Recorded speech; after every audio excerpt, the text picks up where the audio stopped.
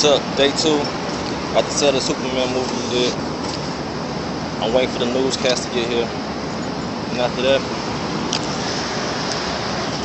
filming should start soon. We did. And shout out to the whole White Sox team.